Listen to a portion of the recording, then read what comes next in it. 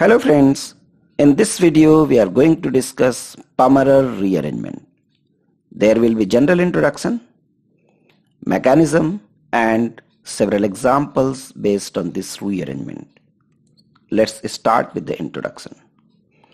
In a Pummerer rearrangement, an alkyl sulfoxide with alpha hydrogen in the presence of acetic anhydride rearranges to alpha acetoxy thioether. To draw the Pummerer rearrangement product without going into details of the mechanism, just draw the substrate, erase the oxygen and add acetoxy group at alpha position. Mechanism of Pummerer rearrangement. This sulfoxide is starting material has a resonating form with negatively charged oxygen and positively charged sulfur. Acetic anhydride reacts with negatively charged oxygen to produce acetoxy sulfonium ion and acetate ion. Elimination of acetic acid like this produces alkylidene sulfonium ion and acetate ion. Now Addition of acetate ion to the double bond gives alpha acetoxy thioether. Now let's have some examples. Reaction of tetrahydro 2H thiopyran 1 oxide with acetic anhydride. Here to draw the product just remove the oxygen and add acetoxy group here at alpha position. So the product will be 2-acetoxy tetrahydro 2H thiopyran. Reaction of this phenyl sulfonyl spiroketone with acetic anhydride. Similarly, erase the oxygen of sulfoxide and put the acetoxy group to the carbon attached to the sulfur to get the structure of the product. So the product will be like this. Reaction of 1 pyratyl sulfonyl propane 2-one with acetic anhydride in the presence of DMAP in dichloromethane. Here, in this case too, erase the oxygen of sulfoxide and add the acetoxy group to the carbon attached to the sulfur to get the product. Thus, the product structure will be like this. Activators other than acetic anhydride in Pummerer rearrangement. So far we have discussed acetic anhydride as an activator in Pummerer rearrangement. But there are several other activators like trifluoroacetic anhydride, trifluoromethane sulfonic anhydride, paratoluene sulfonic acid, trifluoroacetic acid, thionyl chloride, titanium tetrachloride, etc. For example, when this sulfoxide is allowed to react with thionyl chloride in dichloromethane, the sulfoxide oxygen attacks on thionyl chloride to produce this cationic species and chloride ion. Proton abstraction from the alpha position and departure of leaving group leads to the elimination of sulfur dioxide and HCl and generation of aryl alkylidene sulfonium ion as an electrophile and chloride ion as a nucleophile. Now, attack of chloride ion on electrophile like this generates alpha chlorothioether.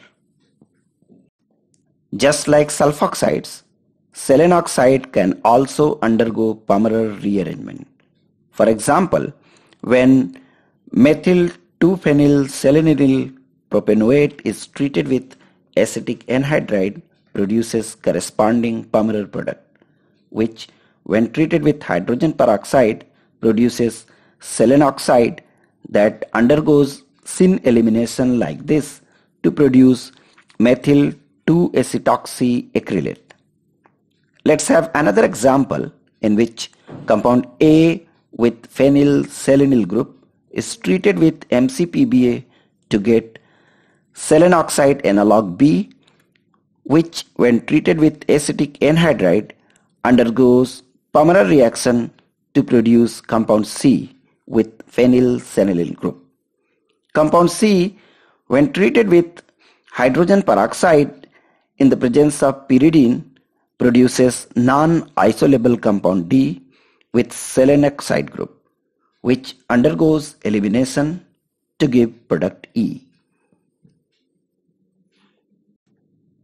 Pummerer reaction with a nucleophile other than that generated from the activator. We have seen in the examples discussed so far that the nucleophile generated from the activator itself attacks the electrophile. But if we add some nucleophile or there is already a nucleophile in the molecule which is stronger than the generated nucleophile, then we would get the product with a stronger nucleophile. Let's have the basic understanding about these two cases one by one. This is our substrate. After addition of activator, there will be the formation of this electrophile. Now, the added nucleophile will attack the electrophile to produce the product. Let's have the second case where the nucleophile is from the substrate itself. The general structure of the molecule can be represented like as. In the presence of activator, sulfoxide group will form electrophile and then there will be intramolecular attack by the nucleophile like this to produce a cyclic product with exocyclic sulfide group. Now let's study some example of this type. The first example is the reaction of 2-methyl-sulfonyl acetamide with toluene in the presence of para-toluene sulfonic acid under reflux. Here, toluene also acts as a solvent.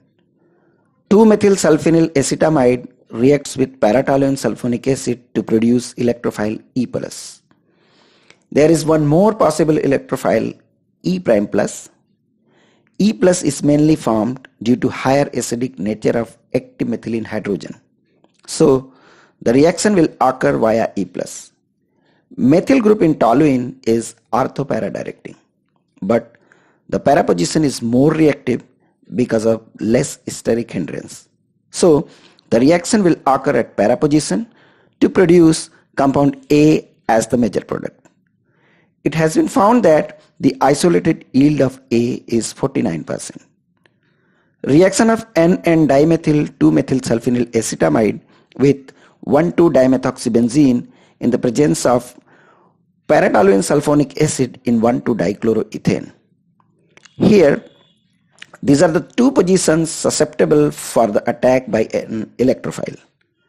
But this position is more prone towards the attack by an electrophile due to less steric hindrance. Thus, this reaction leads to the formation of compound B as the major product with 42% isolated yield. Similarly, reaction of N-N-dimethyl 2-methyl sulfonyl acetamide with 1,3-benzodioxazole in the presence of para-toluene sulfonic acid in 1,2-dichloroethane under reflux gives compound C as the major product with 93% isolated yield. B gets oxidized with sodium periodate to sulfoxide B1 which undergoes Pummerer reaction with acetic anhydride to produce compound B which after workup produces oxoacetamide derivative B3. B3 after reduction with lithium aluminum hydride gives racemic mixture of macromerine which is a natural alkaloid. Desulfurization of compound C with zinc in acetic acid gives compound C1 which after reduction with lithium aluminum hydride in the presence of AlCl3 gives compound C2 which exhibits anti-tussive activity. Now let's have some examples in which the nucleophile is from the substrate molecule itself.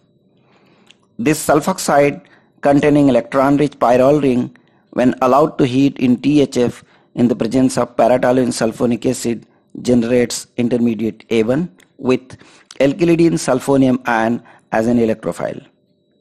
A1 undergoes cyclization like this to produce A2 which after aromatization gives tetrahydroindole derivative PA. When sulfoxide B with an electron withdrawing amide group is allowed to heat in the presence of para-toluene sulfonic acid in 2-propanol generates intermediate B1 with alkylidene sulfonium ion as an electrophile, which undergoes cyclization like this to generate intermediate B2. Aromatization of pyrrole ring in B2 by deprotonation gives B3 which undergoes aromatization of the six-membered ring by enolization of the keto group and removal of thiomethanol to produce indole derivative PB. Compound C when heated with trifluoroacetic acid generates intermediate C1 which undergoes cyclization to produce tetrahydronaphthalene derivative PC. Indole derivative D when heated in the presence of para-toluene sulfonic acid gives thionium ion D1 which is attacked by the aldehyde oxygen to produce intermediate D2. D2 eliminates proton for the aromatization to produce furoindole derivative PD. Now at last let's have a problem from the question paper of CSIR December 2018. In this we have to find the structure of the product formed when 2-phenylthiocyclodecanone is treated with one equivalent of MCPBA followed by acetic anhydride and then aqueous sodium carbonate. 2-phenylthiocyclodecanone reacts with one equivalent of MCPBA to produce sulfoxide A. Compound A undergoes acylation on sulfoxide oxygen to produce compound B which eliminates acetate ion to produce compound C. Acetate ion thus eliminated adds to the CS double bond to produce compound D which in aqueous sodium carbonate gets hydrolyzed to produce compound E. Compound E after elimination of thiophenol gives diketo compound F. So option 4 will be the right option. That's all in this video. Please subscribe my channel and press the bell icon if you like this video. Thank you very much.